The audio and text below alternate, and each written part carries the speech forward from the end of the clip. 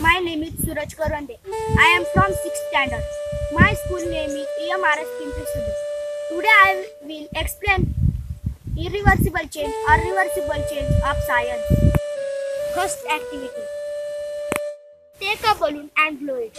Take care that do is not burst.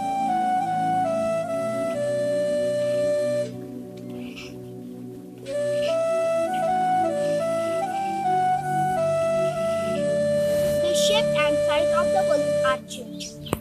Now let the ear escape the balloon. Their first side are curved. They are called reversible change. Activity 2. Take the same balloon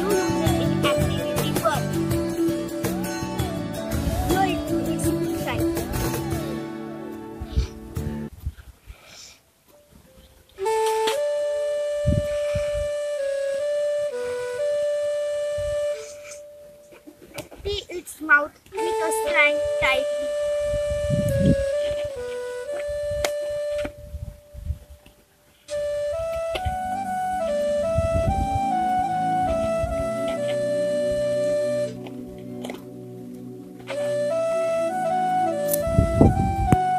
Prick it with the point of the cane.